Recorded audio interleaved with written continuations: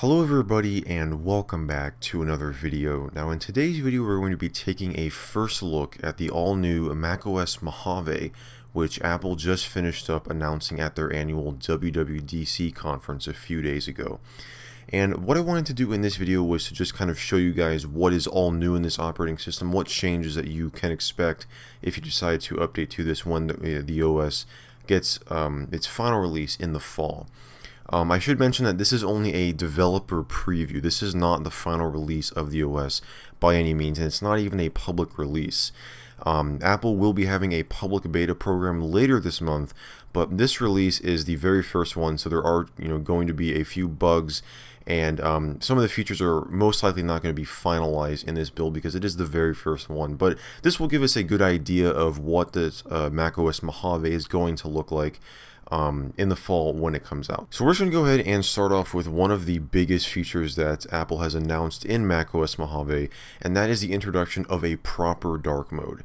And to access it, all you have to do is go into System Preferences right here, and go into the very first tab, General, and on the very top up here, you'll see we have these two new icons. We've got this one right here, which indicates for the regular mode, and this one, which indicates the dark mode. So to access it, all you have to do is just go ahead and click on this dark mode button, and you will see that it will go ahead and change into dark mode. Now, we have had the ability to um, change the macOS theme into a sort of dark mode for the past few uh, releases, I believe starting with Yosemite but it would only change the color of the menu bar and the dock. It wouldn't change like all of the windows like this. And you may also notice that that background changed as well. What's called dynamic backgrounds. And basically what these are is um, a background that will change throughout the time of the day. So you see that when you have dark mode enabled, the background um, changes to a sort of night version of that background. And if I go back to this day version right here, you'll see that it goes back to the day version. And what's cool is it's not just two separate static images. This will actually dynamically change throughout the day. So if I go ahead and go into the time settings, and let's say, so right now I have the clock set for about 8 o'clock a.m. So if I go ahead and say change this to, you know, the afternoon, so let's go about 1, uh, we'll say about 2 p.m. If I go ahead and save this, you'll see that that background goes ahead and it changes to a sort of afternoon version of it. And if I go ahead and change it, you know, let's go up a few hours. Let's go say to about uh, 9 o'clock p.m. And go ahead and save that. And you see now that it changes to that dark mode background, but we're not in dark mode. We are in the regular mode. So um, yeah, dynamically changing backgrounds. That's something that is really cool. And I don't believe that there are many um, other wallpapers they have in here that are supported. I go ahead and go into desktop and screensaver, and so you see this one right here is, I believe, the only dynamic background. So you, you know you can see that we can choose these still ones. So we've got one uh, Mojave day, Mojave night, and these are all of the other backgrounds. So we got High Sierra, uh, Sierra, Sierra 2, El Capitan. So we do have all the older backgrounds in here, but this one is the only dynamic one. And you see that it will ask you to enable location services so that it will uh, be able to tell what kind, uh, what time of, of uh, day that it is. Let's go ahead and, and, switch back over into dark mode here, and I can show you just how thorough that dark mode is. So you'll see that the system preferences window goes totally black. It changes all of the uh, all of the text becomes white, and of all the new windows that I go ahead and open up. So if I go ahead and open up this Finder window, you'll see that it's kind of the same story here. So it doesn't just change the menu bar, the wallpaper, and the dock. It actually changes everything across the entire system. Okay, so for this next example, I had to get the desktop a little bit messy, uh, as you can see here. But this is actually a really cool feature as well. So if you ever are you know working on a project and you don't really have everything organized, your desktop can look like this. I have seen very messy desktops. Um, you know, it, it just happens when you're trying to save something really fast and you know it just goes to your desktop. So Apple has uh, implemented this really cool feature called Stacks, and basically what it does is with the click of a button, you can make this total mess look much more organized. So basically how it works is all you have to do is go ahead and right click anywhere on your desktop go down to group stacks by and you see you've got all these options here. So just to start off we're going to go with kind. So when I click on kind what it will do is as you can see it just goes ahead and groups all those you know that huge mess of a bunch of different documents into just these nice what are called stacks over here. So these three stacks. So you see we've got one for documents, one for images, and one for music. So if I go ahead and actually click on this documents one, it'll go ahead and expand kind of like it does down in the dock for like your downloads thing. It goes ahead and pops out like that. Kind of does that same thing here. So I can actually go uh, through and browse whatever document that I want. And once I find something, I just go ahead and open it up. So let's see this, um, you know, this very important uh, test document here.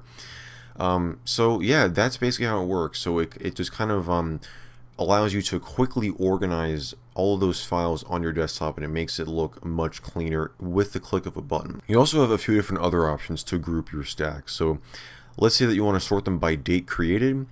You can do that and now it will have a stack dedicated to just stuff that you modified today which is pretty much all of these things.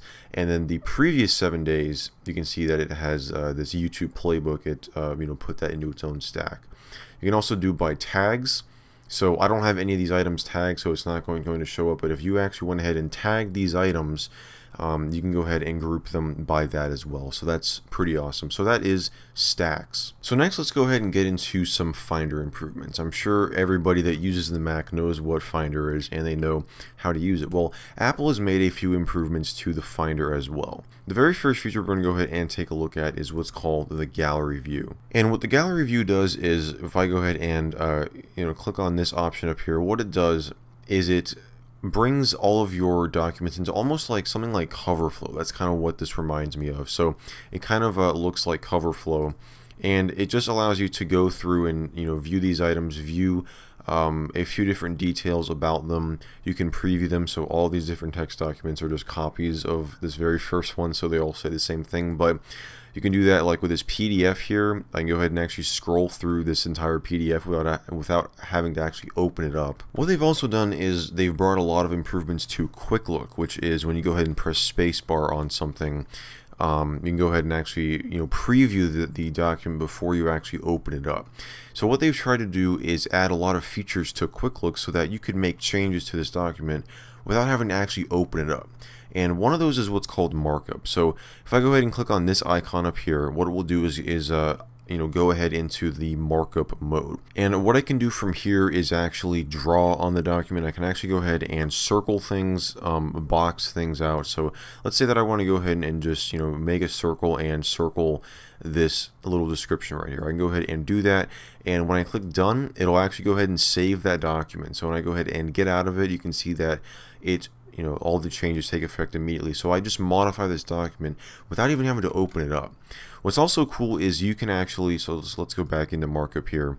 You, you can actually go ahead and add your signature to a document and one of the demonstrations that they did at WWDC is they had a field trip permission slip form and they basically went into the markup mode here. I'm not going to be able to demonstrate this because I don't have this set up, but basically what they did is they went in and Craig, the guy who was doing the uh, the demo, clicked on here and he was actually able to drag his signature out over to the signature part of the document that was asking you to go ahead and sign it and he can go ahead and sign that document without even having to actually print it out and sign it and scan it back in and just do all that. So and you don't even have to open up this document. You can do it right from quick look here which is pretty awesome. Now let's go ahead and talk about applications. Apple actually added four new ios applications and they actually ported them over to mojave so that mac users are now going to be able to use those applications so if I go ahead and go into the Finder here and go into applications, and in here you may be able to see that we now have home,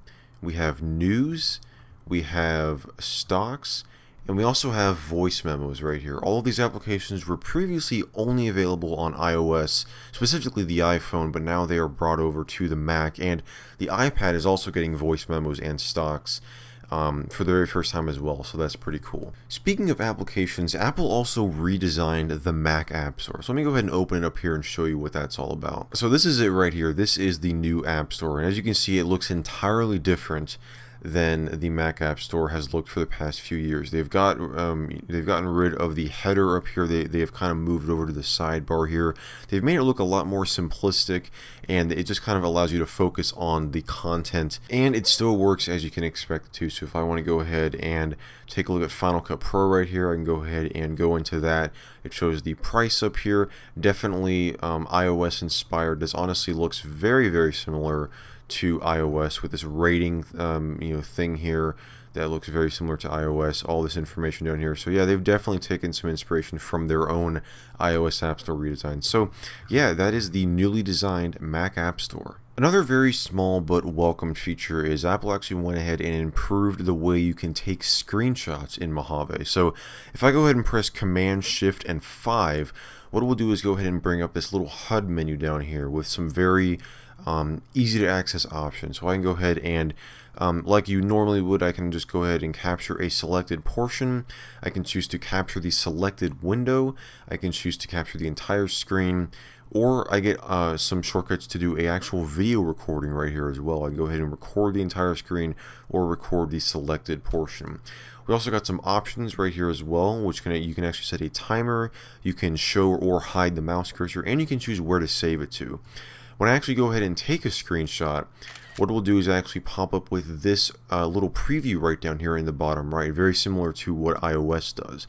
And I can go ahead and uh, click on that, and it will go ahead and open it up with Quick Look, and I can go ahead and use markup to make modifications to it like I see fit. So that is the um, very nice improvements that have been done to screenshotting on the Mac OS. Now, naturally, there are a few features that unfortunately I'm not going to be able to demonstrate for you just because I don't have them set up. And one of those is Siri now works with HomeKit on the Mac, so I can actually just go ahead and if I had HomeKit um, you know devices in my house that I could actually you know demonstrate for you. You can basically just ask Siri from the Mac to turn on your lights, you know, change your thermostat, all of that good stuff. Apple's also um, updated FaceTime, and this is not just with the Mac, but with the iPhone and iPad as well but you can actually now have group FaceTime calls with up to 32 people. So that's pretty awesome. That's been a feature that people have been wanting for a while because, you know, FaceTime, you can't do groups with it, but now you can. So that is basically it. That is a first look at Apple's newest version of the Mac OS. Again, that's called Mac OS Mojave. Um, yes, I was not able to demonstrate everything in this video because it would just make the video way too long, and I just really wanted to focus on the major features and the major improvements that are coming to the Mac this fall. So if you guys enjoyed this video, definitely sure to give it a thumbs up. Be sure to subscribe down below if you want to see more videos like this in the near future. And as always, I just want to thank you guys so much for watching, and I will see you in the next video.